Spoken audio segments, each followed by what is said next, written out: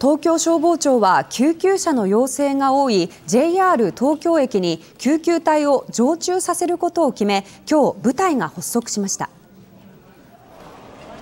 東京消防庁管内での救急車の出動要請は年々増え続けていて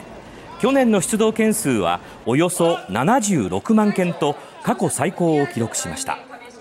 東京消防庁は病院までの時間を少しでも短縮するため特に救急要請の多い JR 東京駅に29人体制の救急機動部隊を常駐させます。夜間は新宿駅にも部隊を派遣し救急要請に備えるということです。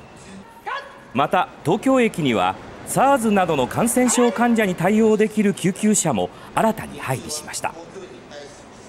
人が集まるターミナルから感染が広がらないようにしたいとしています。